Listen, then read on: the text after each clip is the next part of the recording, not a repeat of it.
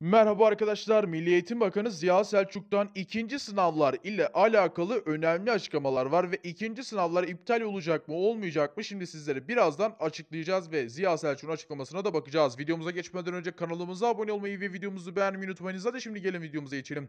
Bakan Ziya Selçuk, biz bugünü kurtarmanın peşinde değiliz. Ben bütün dersleri, sınavları iptal etsem çok hoşa gider mi bu? Büyük kesimin hoşuna gider ama bu geleceğin hoşuna gitmez. Bu çocukların önüne dağ gibi yığılacak bir takım müfredatın hoşuna gitmez.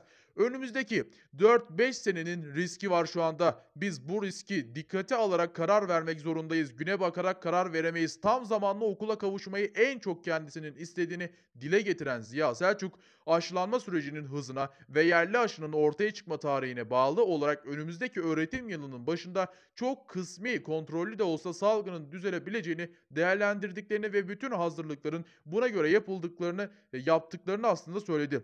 Yani sınavların ertelenmesine bir geçersek aslında sınavlar biliyorsunuz ki 3 Mayıs'tan itibaren yapılacak. Ee, Ziya Selçuk sınavları iptal etmeyeceğini ve sınavların iptal olmayacağının aslında burada net bir karar olduğunun altını çizdi Bakan Selçuk.